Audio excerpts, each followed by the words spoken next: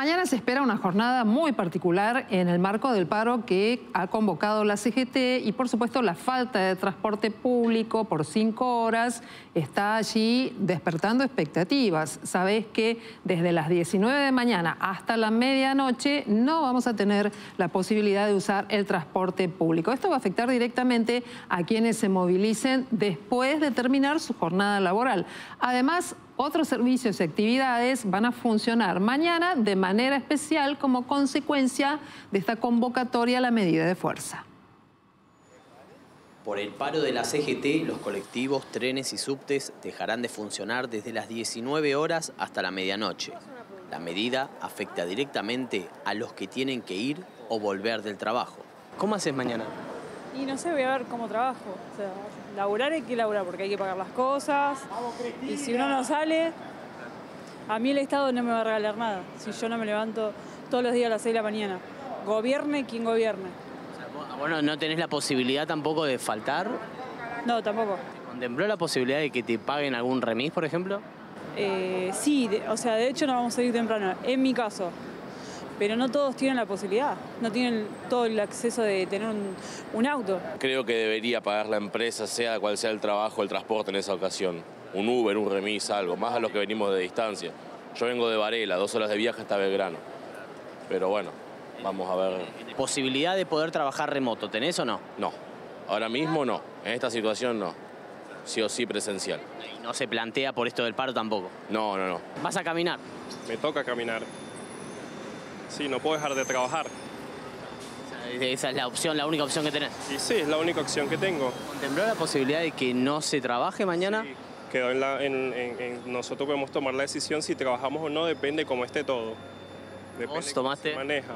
No, yo arranco a trabajar mañana temprano, normal, y si no, me voy para mi casa. Si bien está previsto que el paro de transportes comience a las 19 horas, muchos colectivos y trenes harán su último recorrido dos horas antes. Advertidos de esta situación, muchos trabajadores buscarán movilizarse con tiempo. ¿Cómo haces para, para movilizarte después de las 7 de la tarde? Yo arranco antes, me tengo que ir. Ah, Nos dieron permiso porque si no se puede complicar. ¿Hasta qué hora, hasta qué hora vas a estar? A las 4 o 5 ya podemos ir, porque después se va a complicar y es complicado volver a provincia, va a estar complicado. Bueno, voy a tener que salir temprano para ir a mi casa porque no hay, no hay para el transporte para laburar, para ir a laburar. O sea que pondré ahí, vendré a laburar a la mañana y a la tarde, antes de las 3 de la tarde saldría. Y pierdo hora, ¿viste? ¿Y eso quién me lo paga?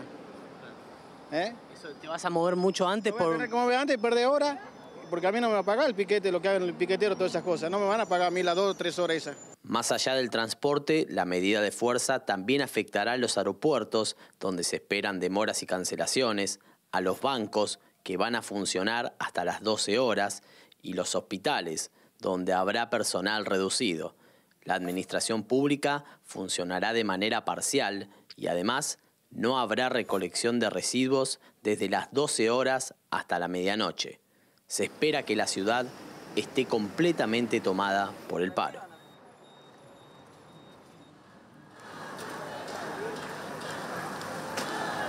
La ministra de Seguridad confirmó la implementación del protocolo antipiquetes puesto en marcha el 27 de diciembre por primera vez y adelantó que se le enviará la cuenta a las organizaciones que no cumplan con este protocolo. Por su parte, los estatales de ATE extenderán el paro nacional durante 24 horas. Comenzará a la medianoche en todas las dependencias públicas nacionales, provinciales y municipales.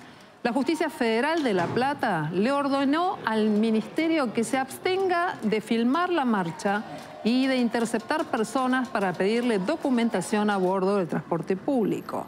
El juez Ernesto Kreplak hizo lugar a un habeas corpus colectivo justo antes del paro y la movilización.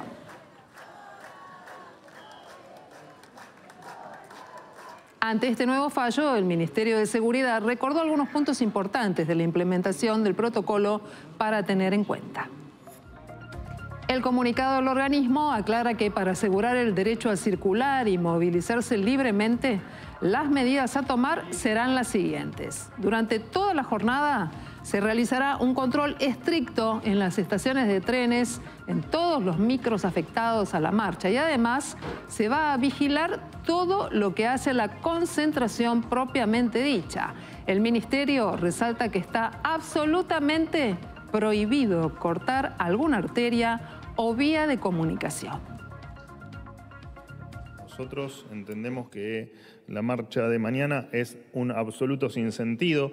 Los propios organizadores la han definido como una marcha que busca voltear, y usaron estas palabras, voltear el DNU y voltear el eh, voltear la ley bases, tanto la ley como el DNU buscan mejorarle la vida a todos los argentinos, eh, que eso ellos puede haber alguna falta de entendimiento por, su parte, pero lo que no podemos entender eh, es esta definición de hacer un paro probablemente ellos representen a mucha de la gente que ha votado este gobierno y que quiere dejar de cobrar sueldos miserables, asombrados por la velocidad, por el silencio que han tenido durante tantos años, con niveles de inflación tremendos, con niveles de pobreza tremendos, con una indigencia que le debe dar vergüenza o le debería dar vergüenza a la mayoría de los argentinos.